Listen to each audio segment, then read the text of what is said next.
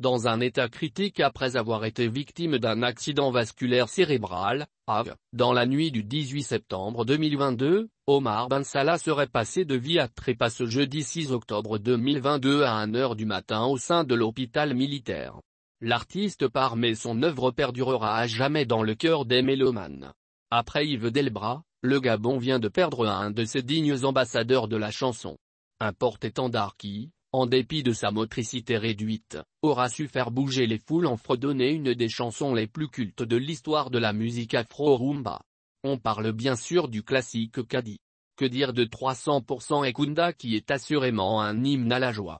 La joie il n'en aura plus de ce monde puisqu'il a été rappelé à ses ancêtres ce jeudi 6 octobre 2022 à 1h du matin à l'hôpital militaire dans lequel il avait été évacué la semaine écoulée.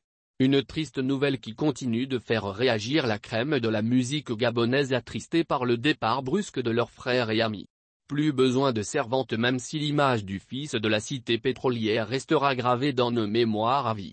Et ce, grâce à sa discographie riche de trois albums studio. Adieu l'artiste.